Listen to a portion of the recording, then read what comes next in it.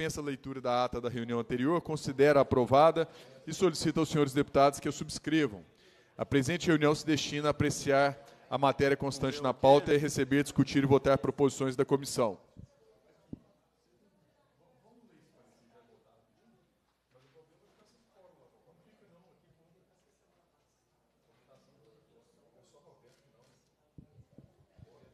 A presente reunião se destina a apreciar a matéria constante na pauta, receber, discutir e votar proposições da comissão. Essa presidência passa a primeira fase da ordem do dia, compreendendo a discussão e a votação de pareceres sobre proposição sujeita à apreciação do plenário. Projeto de lei número 5181/2018 do Tribunal de Justiça que institui auxílios, saúde e transporte aos servidores do Poder Judiciário no Estado.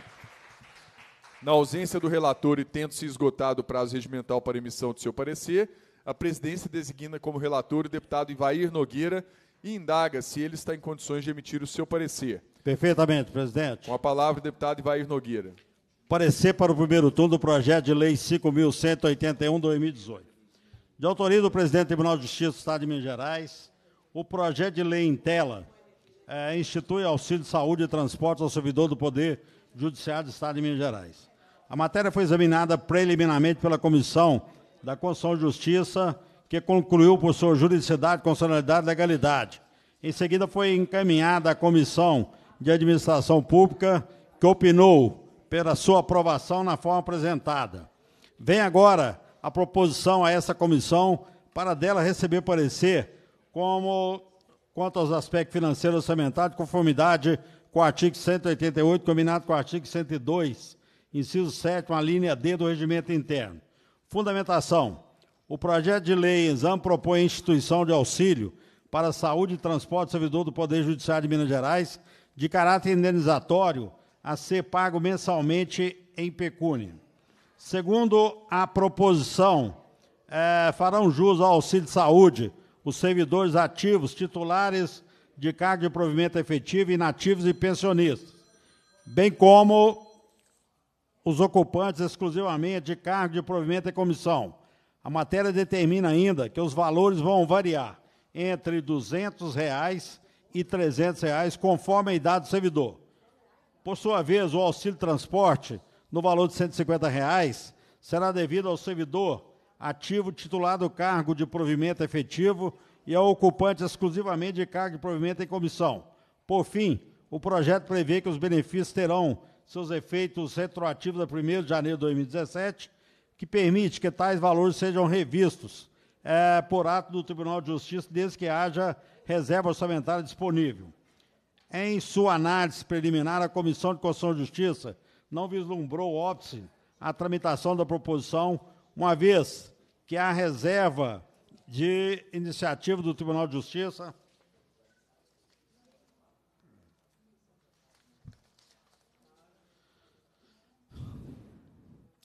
para deflagrar o processo legislativo sobre a matéria nos termos do artigo 66, inciso 4 linha A da Constituição Estadual. Dessa forma, é, se manifestou favoravelmente ao projeto.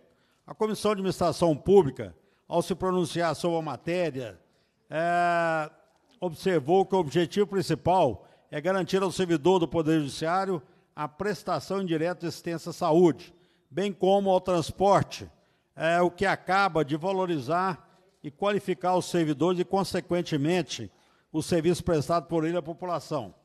É, destacou ainda que, visando a garantia dos direitos sociais dos trabalhadores, concretiza também um dos principais, um dos princípios da administração pública, o da eficiência. Ao final, opinou pela aprovação da proposição na forma apresentada. No que tange a análise do aspecto financeiro, e orçamentário, competência dessa comissão, cabe destacar que o projeto é, em tela implica a criação de despesas de caráter continuado para o erário. Neste contexto, segundo o artigo 17 da Lei Complementar Federal, número 101 de 2000, Lei de Responsabilidade Fiscal, é, os atos dessa natureza, em que aumentam despesa de caráter continuado, deverão ser é, instruídos com a estimativa do impacto orçamentário e financeiro no exercício em que deva entrar em vigor é, e nos dois subsequentes, e demonstrar a origem dos recursos para é, o seu custeio, sem prejuízo do exame de compatibilidade e despesa com as demais normas do Plano Plurianual e da Lei de Diretriz Orçamentária, LDO. Além disso, o ato deverá ser acompanhado de comprovação de que a despesa criada ou aumentada não afetará as metas de resultados fiscais e de que seus efeitos financeiros eh, nos períodos seguintes serão compensados pelo aumento permanente da receita e pela redução permanente da despesa. Cumprindo o que determina a Lei de Responsabilidade Fiscal, tal declaração foi encaminhada a essa Casa por meio do ofício número 365, de 15 de junho de 2018, em que o presidente do Tribunal de Justiça do Estado de Minas Gerais assegura essas condições e informa os impactos decorrentes da medida. Segundo o documento enviado, a implementação da proposição em apreço implicará um impacto de 7 milhões e 600 mil reais no exercício 2018 e de 92 milhões de reais no exercício 2019 e 96 milhões de reais em 2020, que serão é, suportados por meio de recursos diretamente recebidos, sem ônus para o Tesouro Estadual. O presidente do Tribunal de Justiça Militar garantiu o cumprimento da legislação mencionada por meio do ofício 53 de 14 de junho de 2018, no qual informa os impactos decorrentes da implementação da medida proposta, que sejam é, 56 mil e 200 mil reais no exercício 2018, é, 603 mil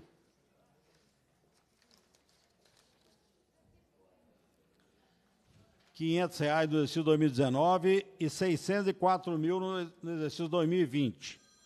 Durante a tramitação desse projeto, o Tribunal de Justiça, por meio de ofício número 602, de 14 de novembro de 2018, encaminhou sugestão de emenda é, na qual dá nova redação ao artigo 6 da proposição para que seus efeitos retroajam a 1 de janeiro de 2018, assim como a presente declaração do ordenador de despesa sobre o novo impacto relativo a este ano, qual seja, R$ 7 milhões 608 mil reais, além é, de atestar adequação orçamentária e financeira.